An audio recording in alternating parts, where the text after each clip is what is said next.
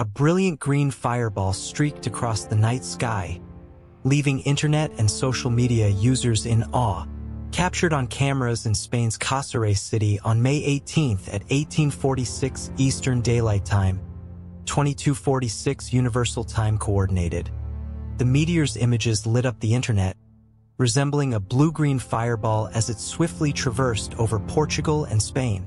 Confirmed by the European Space Agency, ESA, the fireball, moving at approximately 160,000 miles per hour over Spain and Portugal, was identified as part of a comet, burning at a height of about 38 miles, 60 kilometers, above Earth's surface. Thousands of social media users engaged in discussions and shared striking images and videos of the phenomenon on platforms like X, Facebook, and Reddit. As reports of the meteor circulated, curiosity and speculation mounted.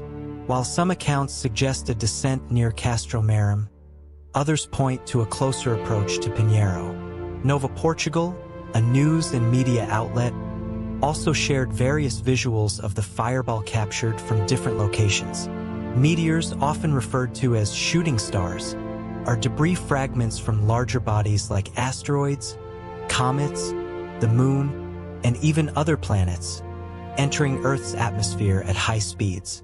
Known as meteoroids while in space, these fragments briefly transform into meteors as they encounter friction, creating a bright streak and leaving a luminous trail. Typically, 90% to 95% of interstellar matter approaching Earth disintegrates before reaching the ground, with any remnants often appearing as meteorites. The distinctive hue of the fireball, a bright blue slash green glow, suggests the combustion of magnesium. While the classification of this meteor as a pallasite, a type of meteorite containing large olive green crystals of magnesium iron silicate called olivine, remains unconfirmed, its potential implications for understanding planetary formation are profound. Pallasites, believed to form when asteroids melt, with denser materials sinking to their cores, may offer insights into the origins of rocky planets like Earth in the early solar system.